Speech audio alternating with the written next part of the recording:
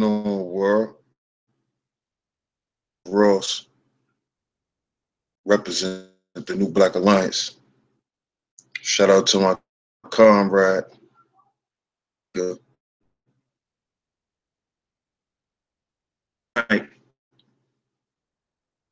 title.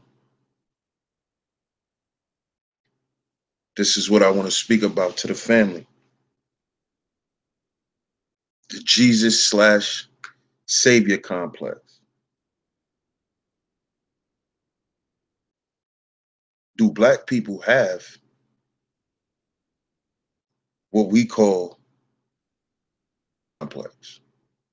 Do we have a savior complex? Basically, are we looking for somebody to save us? Are we looking to be rescued? And this is what I want to just talk about for a little minute with y'all, family. Because too many times I hear a lot of us conscious folk speak about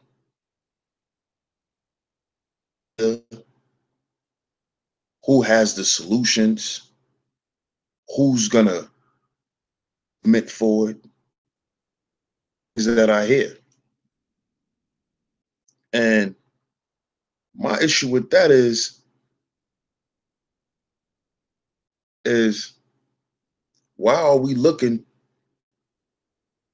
to lead us? Or maybe even a few. History, when we followed or a group of people, when that group of people or that one person is knocked off or the group is dismembered Look what happens. Everybody goes back to living in the matrix. You can see that with the Black Panthers. You know, everybody was Black Power. You know? But as soon as they were infiltrated and taken down, everybody went back to going back to work. You know, people didn't have their own businesses no more. People gave up people stopped striving. The people that was part of the movement stopped the movement. Why is that? Why, if the leaders of the movement is taken down, why doesn't the movement keep going? If the movement is for the people, and it's by the people, then why don't the people keep the movement going? And I'm asking these questions, family, because I'm tired of us always having this big discussion on why we can't get things together. I think we spend too much time on that. You know? And I just think it's a level, it's levels to consciousness, you know, because I was at a point, you know, in my process, and I'm still in the process, because I don't feel like, you know, consciousness is something that's stagnant. I believe consciousness, your consciousness is supposed to grow. Your awareness is supposed to grow. I don't think it ever should ever stop. But you know, coming into becoming aware to a lot of things, I was like that too. I was so caught up on what they were doing to us, what's going on with us, who's gonna help, who's gonna stop this, when are we gonna stop this? But I never thought back then, what role was I gonna play in stopping it? And this is why I think we suffer from that complex, the Jesus complex. Because we're looking for somebody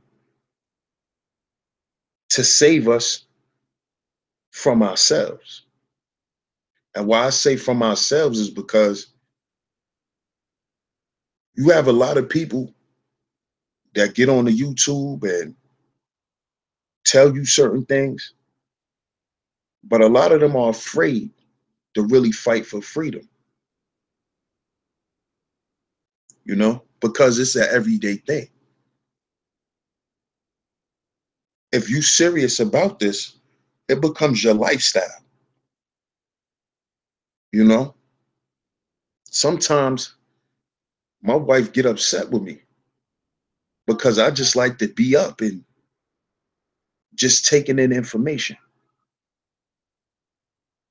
You know, this this has become my lifestyle.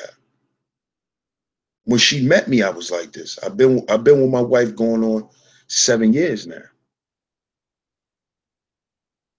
You know?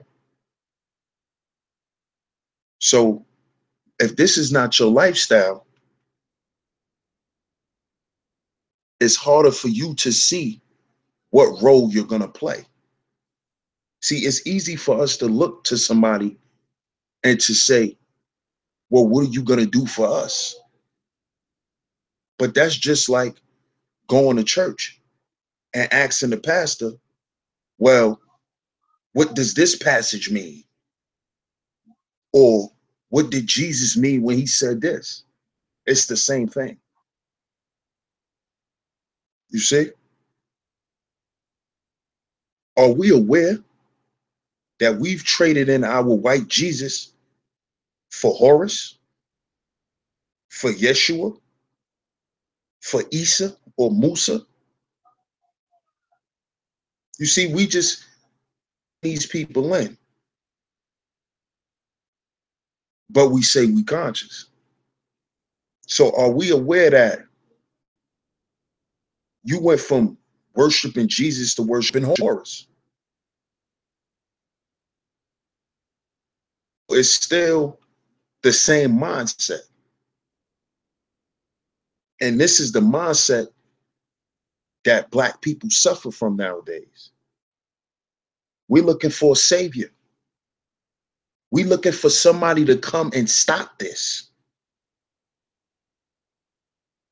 Well, gonna stop.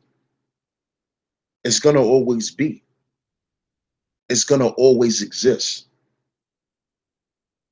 It's up to each individual to make a decision in their own minds to want to stop it.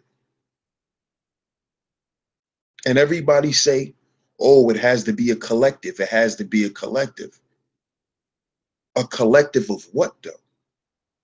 See, we have to put things in context. We have to stop just saying blanket statements. We have to put it in context. A collective of what? See, my motto was sheep stay sleep. That's my motto. If you a sheep, if you not aware, stay unaware. I'm not helping you wake up. You know? You know, a lot of people like being zombies. So let them stay a zombie. Because just like you got to want to wake up, just like I had to want to wake up, and every other person who woke up, at one point they will sleep too. Willing to wake up or want to wake up, sheep stay sleep. So a collective of what? A collective of who? I agree. It should be a collective, but a collective of like minds. Who's aware are not like minded. So everybody's not to be worked with. You see? I believe we should work on skill sets. That's how I believe if we want to do this thing as a collective, it'll work. Because the white supremacist system is developed and it permeates through multi levels. Facet of our lives. So when we say a collective of collective of who? Because white supremacist ideology reigns in the world of sex, finance, law, just to name a few. Collectives of those type of people with those skill sets to attack those issues. We don't just need people together to do. You see? Because all that's going to do is have a bunch of people in one area. And you know, when black people are grouped up in one area with no direction, arguments and fights ensue. You see? We need direction. And maybe that's why we're looking for a savior because we don't want to direct ourselves. And that's the problem. And we don't want to direct ourselves because we don't want to hold each other accountable.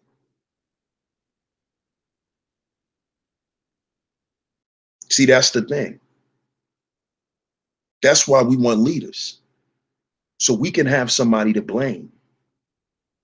So when it all boils down and everything fall and crumble, we could point to one person or we could point to these groups of people and say, they messed this up. It's because of them. And that's what was done in all other black movements that was dismembered. You always got a, a black person that could point to a, a person that was part of the movement.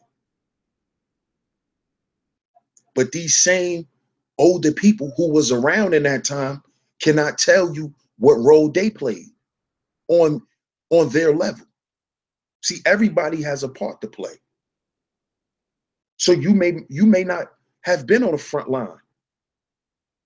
But what were you doing? What were you doing? You can do something. What were you doing? I know what you were doing. You were sitting back watching what somebody else was doing and then critiquing it. And then saying that should have been done and that should have been done, but you did nothing. You see? And then when that person's efforts failed, then what you do? Oh, see, see, I knew, I told you. You see? Meanwhile, that same person was scared to stand up for something on their own. And this is why we have the Jesus complex. Because we want somebody to blame. I got another video y'all could check out on my channel. It's called the escape goat syndrome. It ties right into this. See, we looking for leaders because we looking for somebody to blame. We don't want to blame ourselves. We don't want to say we fucked this up. We want to say it was because of them. See, the lack of accountability and the lack of responsibility we will never become successful. See, when you are always looking for somebody to blame for something, you will never grow.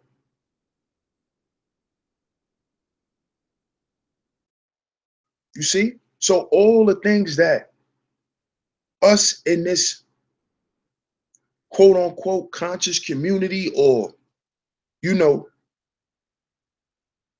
thing that we call this that we doing, we need to all sit back and start to figure out as individuals what are we doing and what role are we going to play? You see even if you just a voice. You see But if you're not a voice, if you're not doing anything,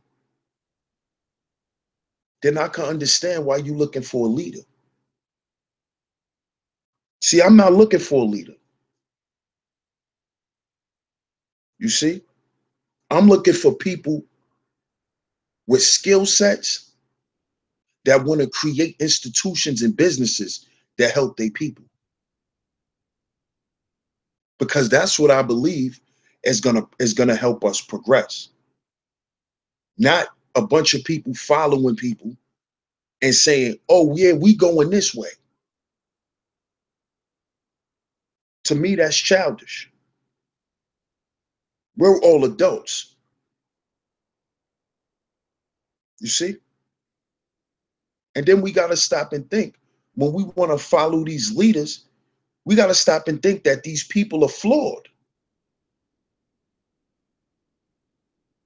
Nobody stops and thinks that. Hey, these people are human, they're flawed. So then, when your favorite leader does something you don't like or don't agree with, then you want to ostracize them. You see? How do we ostracize the same people we claim to love and support when they don't do what we want them to do?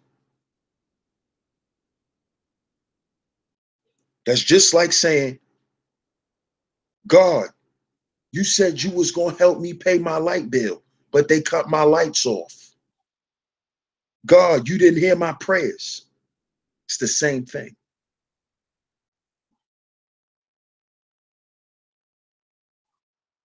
So why are we looking for humans to follow?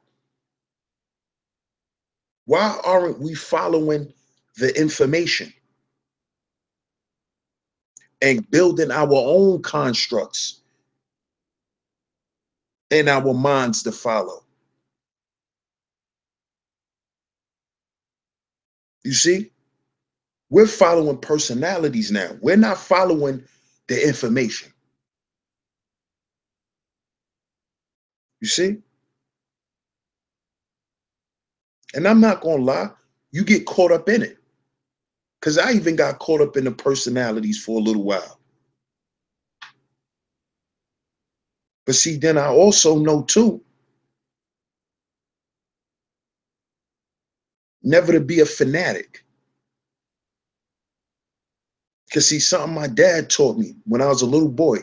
He always told me, don't follow no man. Men stand on their own. You see? And that always stuck with me. And that's why I teach my sons this. Stop trying to fit in, stand out. See, so when you when you looking for a leader, you looking for something to be a part of. And what you may be trying to be a part of may not may not be good for you. But you may not find that out until you had to lose something. And this is what happens when we start following these quote unquote conscious leaders.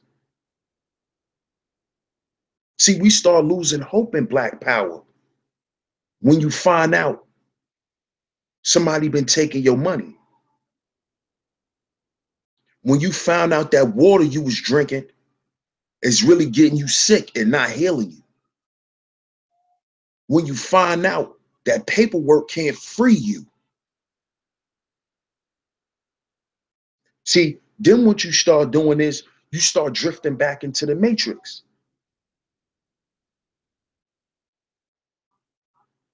Because now you lost. Because you was lost in the beginning and you was seeking guidance through somebody else instead of through yourself.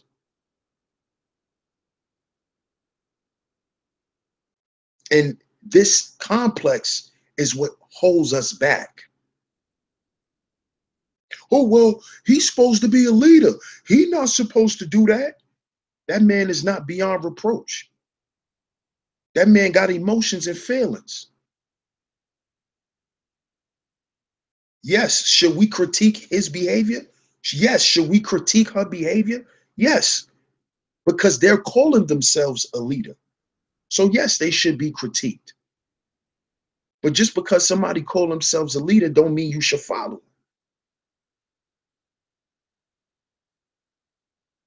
If they got good information that you could take and build off of, do that. But don't follow them. Don't follow them. You see?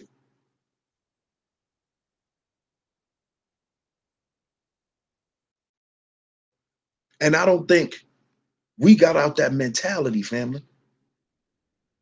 See, we may have left the church, but church hasn't left us.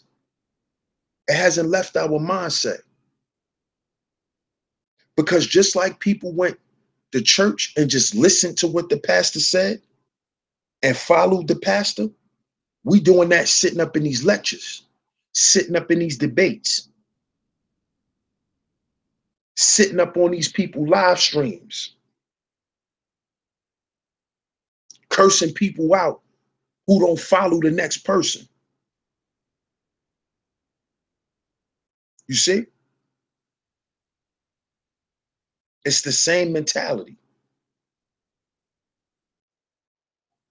Same mentality. The savior complex. We looking for somebody to come and save us because we really don't want to do the work. You see? We like to always talk about we waiting for the white man to come and save us. We shouldn't be waiting for no man to come save us. White, black, purple, or blue. We shouldn't be waiting for nobody to come and save us. We should wake up every day as a family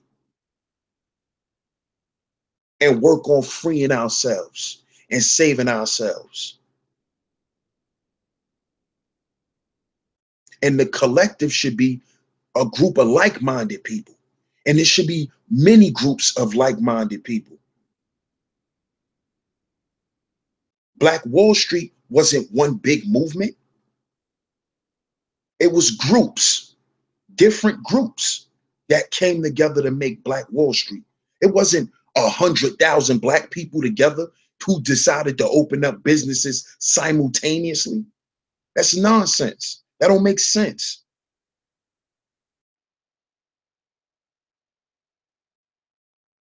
Let's start thinking practical. So we really think all black people gonna wake up at once? That don't make sense, man.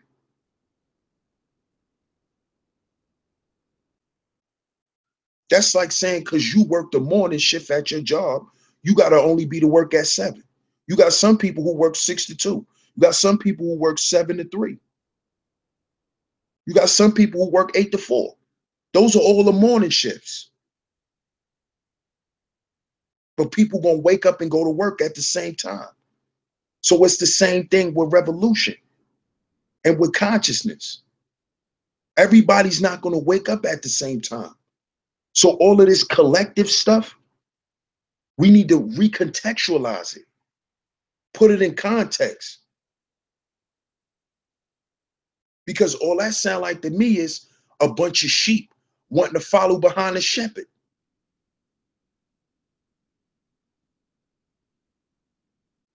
That's what that sound like to me. That sound like a bunch of church members following their pastor.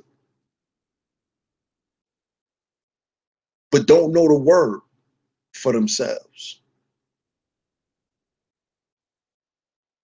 You see? And this is why we're held back. Because of this complex. You see?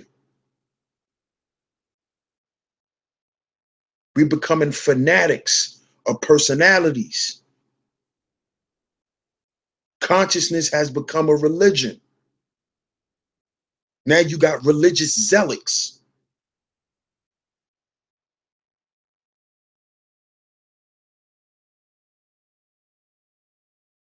But guess what? Let something happen to one of their favorite conscious personalities.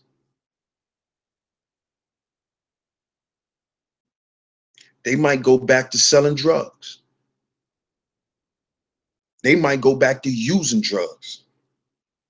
They might go back to robbing people. You know why?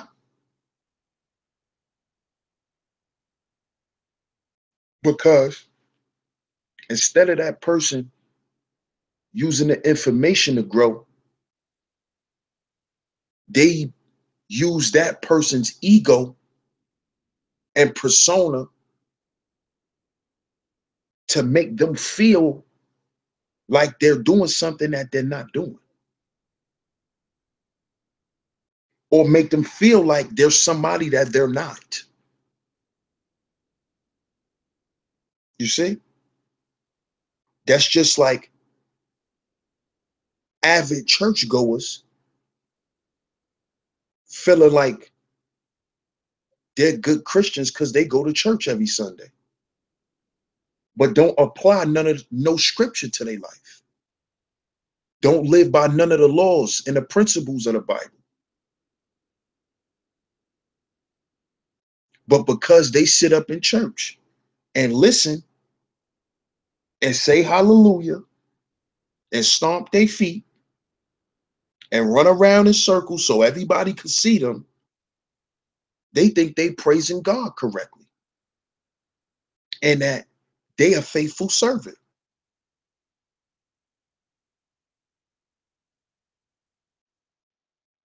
You see? We suffer with the same mentality dealing with consciousness. We're not taking the information and growing. See, that's why there's still room for more and more debates because people want to go there and see their two favorite personalities clash. People are not getting nothing out of these lectures, out of these debates. I mean, they're not getting nothing out of them. You see? Because all they're going to do is come home and write on their statuses on Facebook about who they think had the flyest presentation.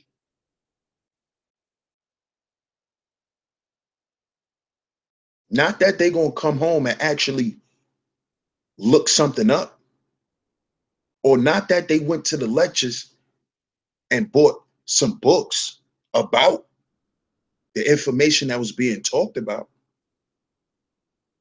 so they could grow and in turn do something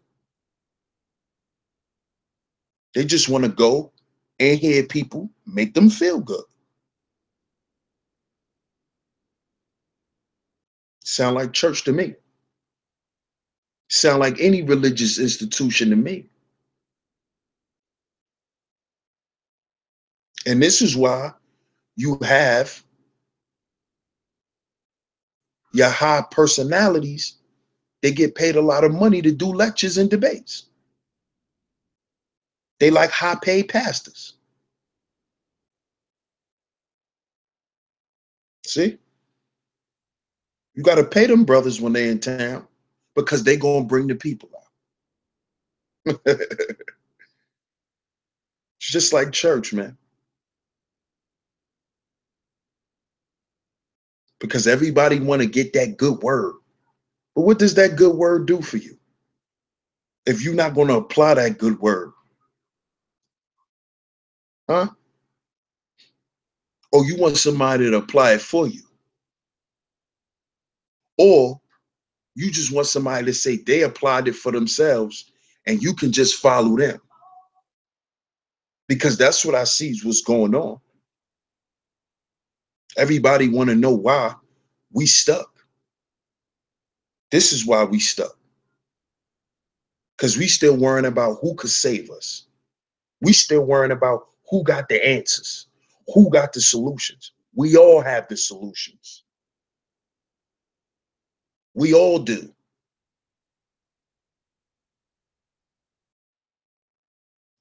We all do. Some of the people I met since I've been doing my live streams, man, I done heard them say more profound stuff than I've ever heard these brothers talk about on in a debate.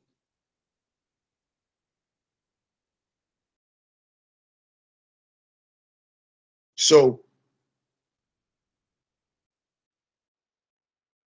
I mean, why can't we solve our own issues?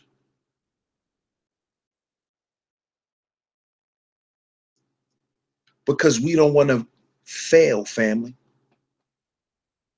We don't want to fail. Get up and regroup and do it again. And fail, get up and do it again. That's what it is. That's really what it is.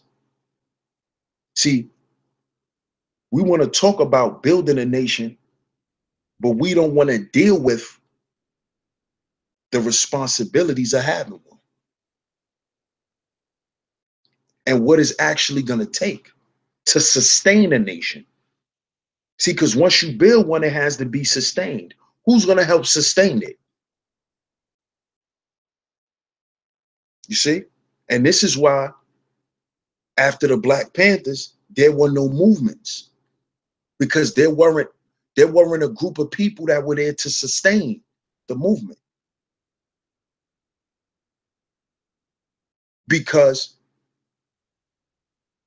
the people who followed the movement, they just followed.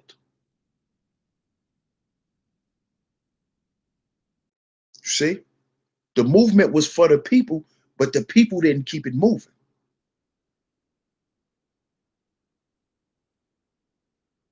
See, the people sat back and wanted to watch. See, that's our problem.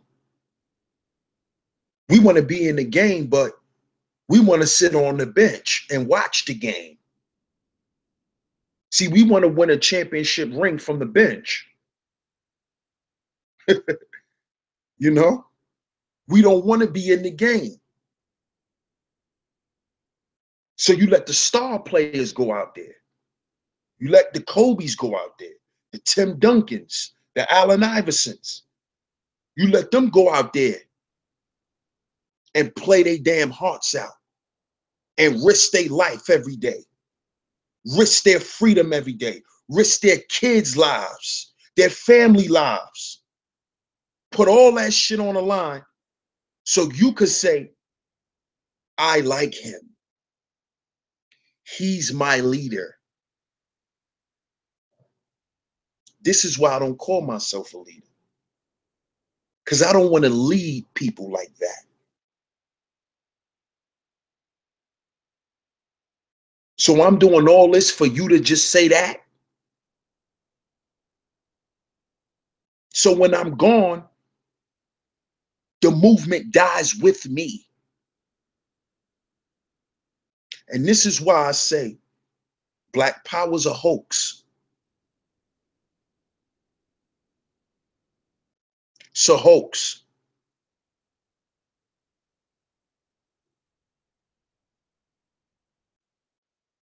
See, we need to start redefining things in 2017, family.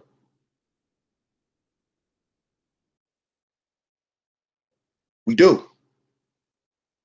Because if we serious, we need to really be serious and get around like-minded people who are serious.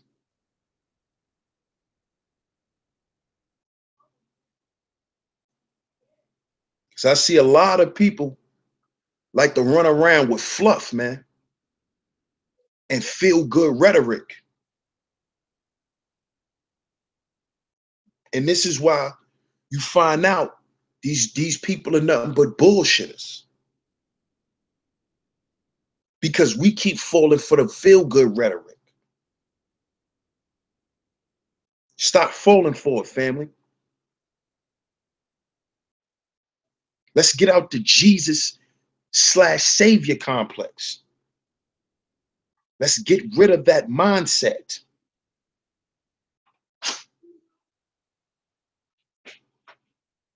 You cannot buy your way out of freedom.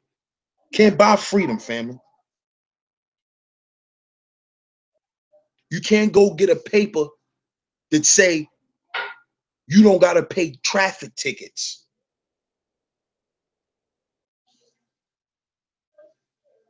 That's nonsense.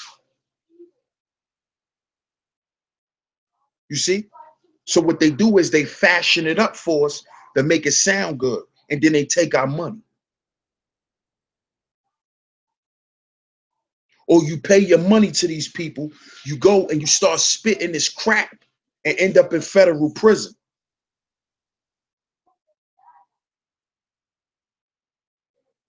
You see? You go buy this water that you think is supposed to heal you. And then come to find out it's killing you. See, we need to stop looking for the quick fix. We need to stop looking for that.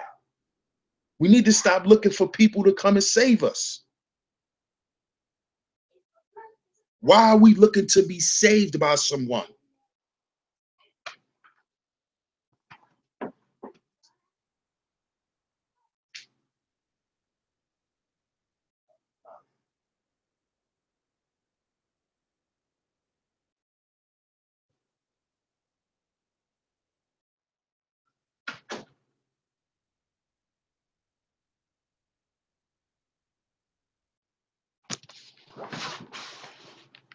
Why, family? Please tell me. You said the Jesus story was fake. Right? It's real as a motherfucker. Because we still looking for saviors. We still looking at these conscious people as saviors. You can't save me and my family, but me and my family. Because guess what? That brother that you calling a leader, that nigga don't pay your bills. He don't put food in your mouth. He don't put clothes on your back. So what is he leading you to?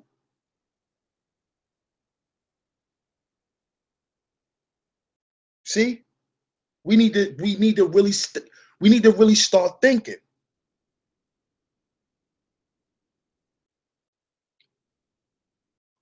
A leader, my leader, leading me where?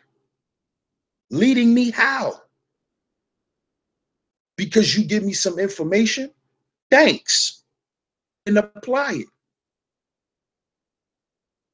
But you're not my leader. You see? Somebody was your leader, they'll take care of you. None of these people take care of nobody but themselves and their family. So let's stop worshiping people.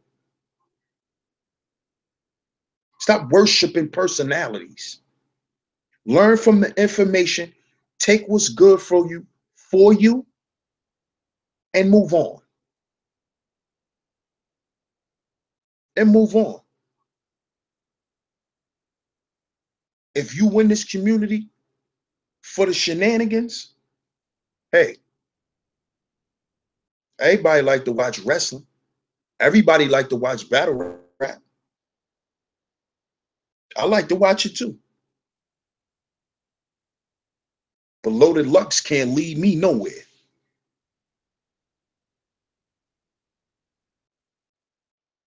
See? So if a conscious rapper can't lead me nowhere, why could a conscious lecturer or debater lead me anywhere? This is DS1 Ross. Represent the New Black Alliance. Make sure y'all subscribe. Stay tuned, family. I'll be back later on. You know to at y'all again. Got some more things on my mind. So I'll be back to probably chop it up with y'all a little later.